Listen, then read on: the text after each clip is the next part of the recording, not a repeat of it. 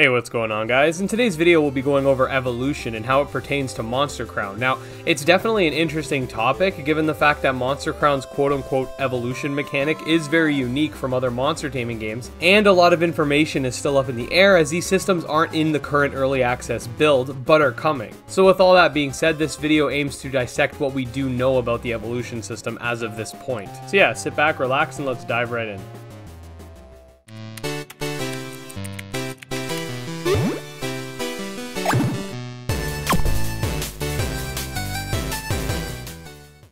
Okay, so Monster Crown's got a few different ways in which your monsters can transform, and each are rather unique. Now, I don't think every type of transformation has been revealed as of just yet, but I'm going to focus on the ones that seem to power up your monsters rather than devolve them. What I mean by this is that we have one type of transformation that's currently available in Monster Crown, and that's defungal transformation that works on Laz via the Apo's light item. What this item does is it transforms Laz back into its original form, being Apo. The reason for this is that Laz is just the end result of an Apo getting infected, and this item has some sort of reversion effect on that virus. Now, that being said, I don't know if I'd consider that evolution per se, just because it's almost like de-evolution and that Apo is probably weaker than Laz realistically, not really being a combat monster. Now that being said, Monster Crown's evolution system with its other items that we have more information on is more akin to Mega Evolution from Pokemon, but with a twist. Within this video, I'd like to talk about three specific transformation methods, which I think we have the most information on, but these aren't the only three, just the ones I find the most notable in relation to evolution. These three being Synergy transformations, the Atomic Clock transformations, and Super Grow. So, for starters, the bulk of what we know regarding synergy transformations comes from this short trailer that the Monster Crown YouTube channel uploaded a while back.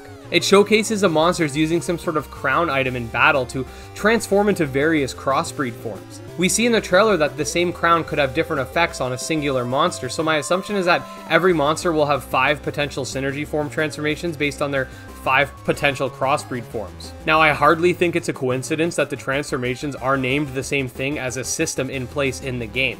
Synergy are these bars that are located on either side of the screen that can be stacked up to four times. Now, I'm wondering if synergy transformations, or as they're called in the trailer, perfect synergy, is connected to this. Perhaps a fifth stack will be added, or after hitting 4 you can transform at the cost of a turn or something like that. I do want to do a video going over the synergy system at some point, because it's actually quite interesting, but for this video just know that Jason's vision of the synergy system, as outlined in previous interviews, is a high risk, high reward style of play. To gain stacks, you either have to switch or brace for a turn, and in both cases are giving up a potential attacking turn. More stacks can provide more damage as well as other effects. I think throwing in a potential evolution based around this mechanic would further incentivize the use of synergy. Now, the atomic clock, in my opinion, is the most interesting one from a lore perspective as it ages your monster for either a short period of time, aka during the battle, or permanently outside of the battle.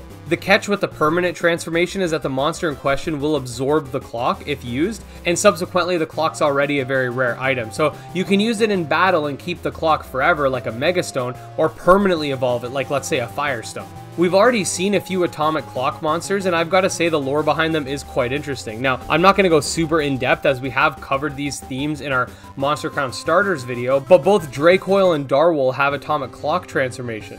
Darwol's base monster entry states that it's waiting to reclaim the land that once belonged to him, and its atomic clock entry references the fact that it did achieve this goal. Dracoil's atomic clock form references imitators trying to say that they have an aged Dracoil, and funny enough, there is an NPC with a Grideg that pretends to have an atomic Dracoil. We also get to see an atomic Gore Gem in the early access trailer if you play close attention. This transformation as well as the next transformation we're going to be talking about were stated by Jason, the lead developer, to be the only ones with shared genetic variations and will likely be dependent on the monster's body type in relation to crossbreeding.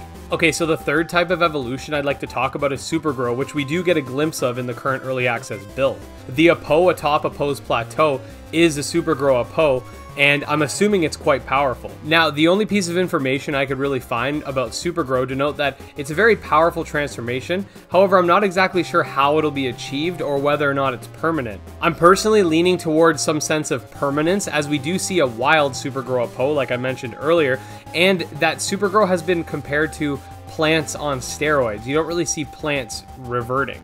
This plants on steroids analogy is obviously comedic, but it may hold some water. Now, I'm not exactly sure how that pertains to Apos specifically, but when we look at Jungro's SG or Jungrow's Supergrow form, we see that the plants have really taken a new form, and Apo is considered to be a grazing creature, so perhaps there's more plant-like elements than meet the eye. Now, like I stated previously, there are other means of transformation within the game, and honestly, when we get the full details of each, I'll likely make a more in-depth video of perhaps even every single method with its own video to go alongside it. Obviously, provided the information we get is adequate from both a gameplay and lore perspective. The other methods include Burning Sky, which I assume pertains to some sort of uh, fire themed monsters, Book of the Dead, which apparently can transform both Knight and Hooclaw, and something called FB, which pertains to a field. There's also got to be some sort of mystery transformation that'll pertain to Ambigu. This is basically so that all the starters end up getting transformations, not making one less powerful than the others.